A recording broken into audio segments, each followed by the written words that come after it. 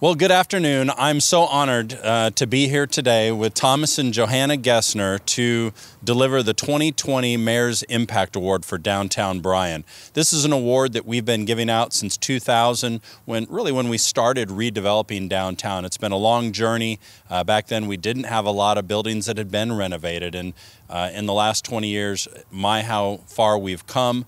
There's been so many people who have made an impact in downtown Bryan, and we began honoring uh, people who are making that difference. This year, um, it's GVBM LLC.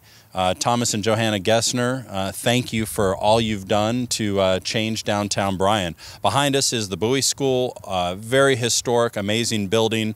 Uh, the Gessners were looking uh, for several years for a place here in Bryan College Station. They work with Engels and Volker, I believe, who identified that the Bowie School was available. At the time, it had been vacant for about 15 years uh, and it was in need of an impact, uh, let, us say.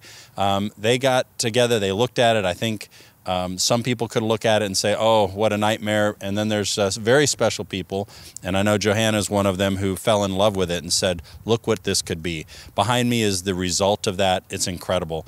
Um, we had uh, several months where we went through a process. Originally, it wasn't for sale.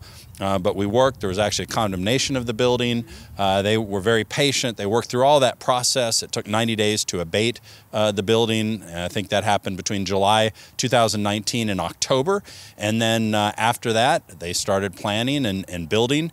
And here we are today looking at a beautiful building in downtown Bryan. I think the construction began sometime after October. Uh, there's going to be a tenant here in mid-December, uh, another one that's coming in uh, early in Q1 of 2021. In fact, as far as I know, correct me if I'm wrong, but I think there's only 4,000 square foot of space left in this building uh, to rent. But if you're one of those people, uh, it's a beautiful building, one of the most beautiful spots in the Brazos Valley uh, to work and to to be creative. So it's very incredible. We want to thank Thomas uh, and Johanna for what you've done for downtown Bryan, the city of Bryan, and the Brazos Valley to take this beautiful historic building and turn it into this incredible asset for our community. Thank you very much, and God bless you. I'd like Thank to pre present this to you. Thank you very much. I appreciate it. Okay. Do you want to? Yes, I do want to hug. You've been so good to us. Well, I really appreciate thank it. Thank you very much. I appreciate you. We you, couldn't you, have done this without you guys. Well, would you guys like to say a few words? Um, go ahead. Would you like to?